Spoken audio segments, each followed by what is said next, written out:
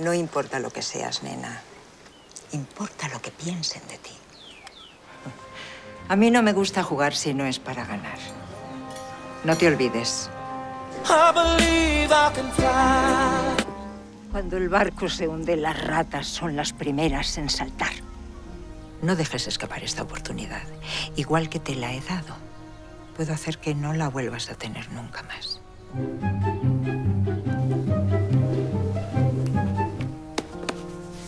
Si se te ha pasado por la cabeza llevarte a mi nieto, olvídalo. Puedo ser muy generosa, pero también muy egoísta. No voy a contestar a más preguntas sin un abogado delante. Y como sabes, en mi familia hay muchos y a todos les pagué yo misma los estudios. Esa pos de hijo abandonado no vas a poder mantenerla mucho tiempo.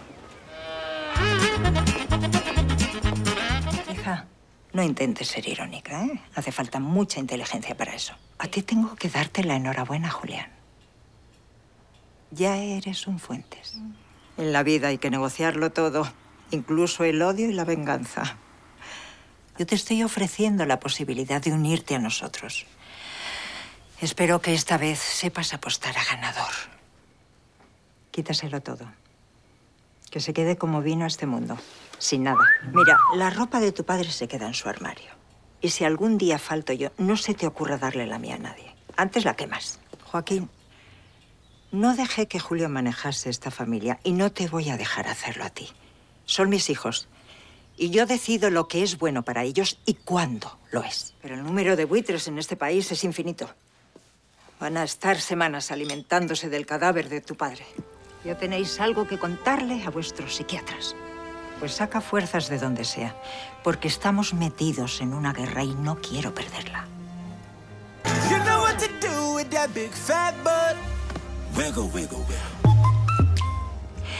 ¿Quieres saber por qué prefiero a tu hermano antes que a ti?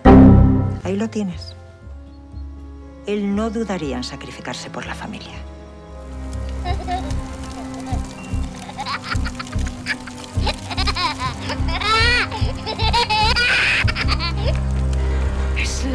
Última vez que pisas esta casa. Para mí ya no eres hija mía. Precioso, hija. Puedes enmarcar la frase. Seguro que queda muy bonita en la pared de tu despacho. Mentiroso, ladrón, embaucador.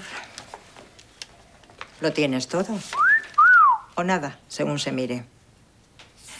Aunque en el fondo te admiro. Eres como una cucaracha. Difícil de cazar y dispuesta a todo por sobrevivir. Esto es una lección para que aprendas cuál es tu lugar. Todas las familias tienen sus pecados. Nosotros también, Claudia. Y tendremos que aprender a vivir con ello. Pero la verdad nos destruiría. ¿Estarías dispuesta a eso? Qué pena que no nos hayamos conocido en otras circunstancias. Estoy segura de que podríamos haber llegado a ser buenas amigas. Aunque la verdad, a mí nunca me ha gustado relacionarme con zorras que se entrometen en los matrimonios ajenos.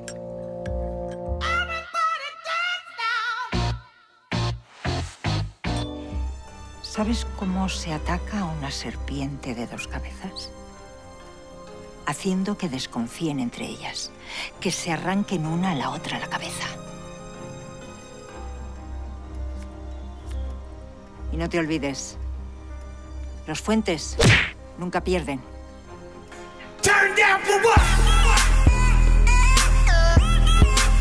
Destrúyelo. Los fuentes ya hemos ganado.